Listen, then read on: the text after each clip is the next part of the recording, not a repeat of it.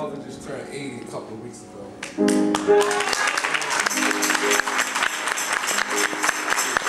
I'm so proud of. And the Humphrey Choir joined me in celebrating with that, her for her 80th birthday party. I'm so appreciative. And I wanted my mother to come, but she wasn't able to come, so my niece came, and I just wanted to represent our family to personally thank y'all. And my mother said her thanks to you, Pastor. She wrote your letter actually, but I didn't go out there, I'm gonna give it to you.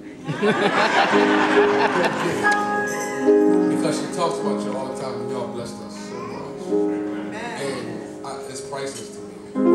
So I don't have the money to pay you, but I just have love to give you, and I want to thank